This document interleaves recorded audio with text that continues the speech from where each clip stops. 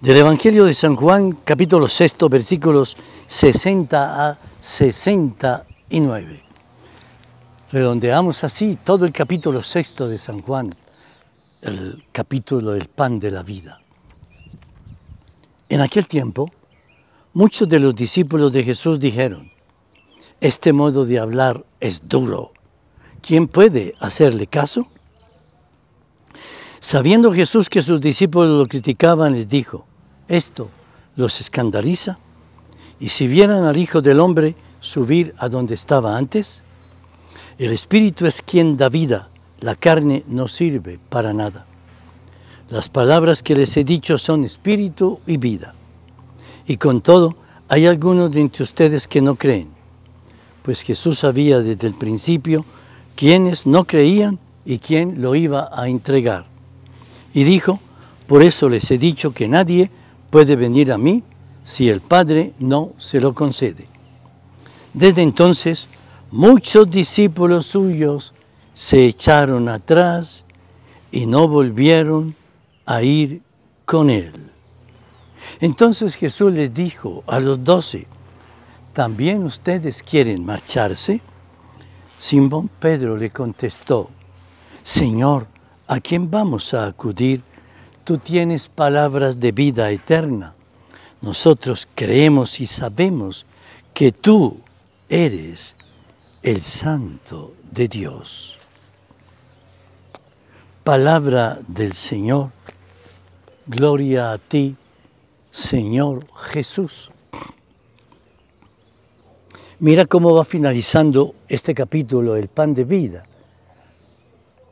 desde el primer versículo ha venido desarrollando todo lo que era entonces el pan multiplicado, el pan que nutre a los discípulos, que nutre al mundo, que nutre a cada uno, que nutre la iglesia, el pan que es presencia divina entre nosotros, el pan que es certeza de una continuidad de Jesús cuidándonos como un padre cuida a sus hijos. Pero mira cómo termina hay dudas y hay muchos que prefieren marcharse, que no se abren a la realidad del amor divino, que cierran su corazón, que al no entender, pues creen que lo que no se entiende no es verdadero. Como si nosotros tuviéramos que decir, yo no creo en el universo, porque nadie lo entiende. Ni los grandes científicos entienden el universo. Los científicos grandes tienen teorías, hipótesis del universo. Stephen Hawking, un hombre, un científico que no era creyente, pero alguna vez le preguntaron, bueno, eh, Hawking, si alguna vez se descubre que la teoría del Big Bang como origen del universo no es verdad, ¿tú qué dirías? Y él simplemente dijo, pues sería simplemente buscar otra teoría, porque son teorías no son certezas, son opiniones cercanas a lo que pudiera ser una realidad. Entonces, el mismo universo es un misterio. Entonces, porque no lo entendemos, entonces no lo aceptamos. ¿Tú vas a negar el universo?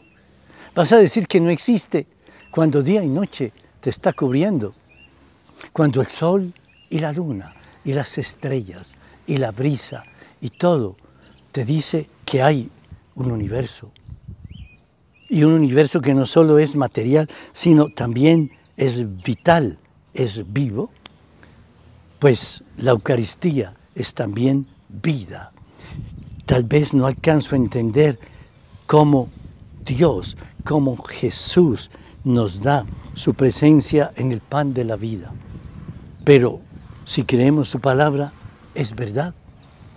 Es el gran misterio de abrirnos a los regalos divinos, que son tan inmensos que realmente no alcanzamos a comprenderlos muchas veces.